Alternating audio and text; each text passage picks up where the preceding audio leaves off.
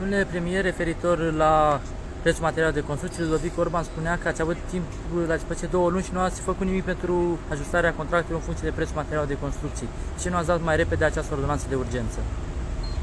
Am dat toate ordonanțele de urgență atunci când avem toate informațiile uh, și uh, asta facem la acest moment. Ordonanța de urgență vine de la Ministerul Dezvoltării.